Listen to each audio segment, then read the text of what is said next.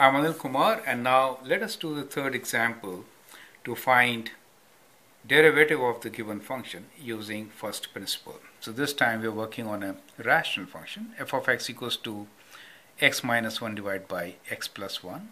We need to find its derivative using first principle. That means the basic definition which is f dash x is equals to limit h approaches 0 or for the function it will be f of x plus h minus f of x over h. So that is the basic definition and this method we call first principle right. So let's replace uh, f of x plus h with the function itself which is x minus 1 over x plus 1. So x will be replaced by x plus h. So what we get here is x plus h minus 1 divided by x plus h plus 1 minus the function which is x minus 1 over x plus 1 divided by h. Now to solve rational functions we should take common denominator and then simplify. So if I take this common denominator these two terms they get multiplied right. So what we get here is first term will be x plus h minus 1 times x plus 1 right? X plus 1 minus this term will be x minus 1 times x plus h plus 1 right? And the common denominator here will be this times this. So let me write h first and then we have x plus h plus 1 times x plus 1 I hope this step is clear right? So we have all this divided by h so this h comes in the denominator so let me now expand the numerator. So we have let's multiply 1 by 1 so we have x square plus x plus x times h plus h minus x minus 1 so that is this part. Now we'll do all this minus of let's put a bracket.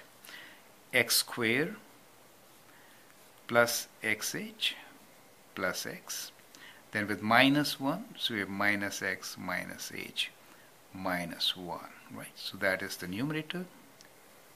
Denominator for us is h times x plus h plus 1 times x plus 1 so let's see what is left in the numerator now.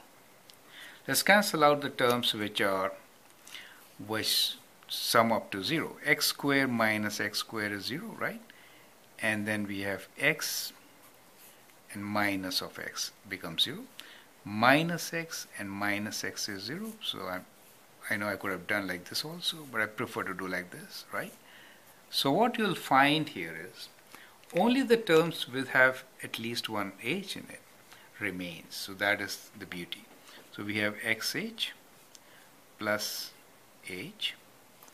And here we have uh, h plus xh they cancel out right? So this cancels out. But plus h minus of minus h will give us plus 2h so we have plus 2h in the numerator divided by h times x plus h plus 1 times x plus 1 now h and h you can cancel. And so we are left with limit h approaches 0 2 over. X plus h plus 1 times x plus 1 right? That is what. Now we can substitute h equals to 0 so we get x plus 1 whole square in the denominator right? So what we get here is 2 over x plus 1 whole square. So that is the derivative of the given function. So we can now write that the derivative of the function is 2 over x plus 1 whole square, right? So what we get here is that the derivative f dash x is equals to 2 over x plus 1 whole square. Now from this general derivative of the equation given to us, we can conclude many things, right? So let's see what all we can conclude from here. So first thing which we can conclude is that f dash x does not exist, does not exist at at x equals to minus 1. Do you see that? If I put x as minus 1, we get 0 in the denominator, right? The function is defined at, function is also not defined at minus 1. You can see that, right? So, and it is not differentiable at minus 1. So you could see from here, if I substitute minus 1, I get 0, right? So both function and their derivative do not have x equals to minus 1 in their domain. That is first thing which you observe. Second thing which you observe is that the derivative f dash x is non-negative. Do you see that? Since the denominator is square, do you see? So it is always, always greater than 0, right? So, so the derivative is always greater than 0, right? So these are the two things which we observe, that it is not differentiable at x equals to minus 1, and the derivative is always positive. That means if you draw a tangent to this curve, it will always be positive, correct?